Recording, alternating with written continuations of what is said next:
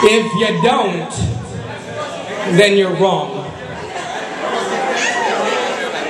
Well, that's pretty clear. Naked, preferably.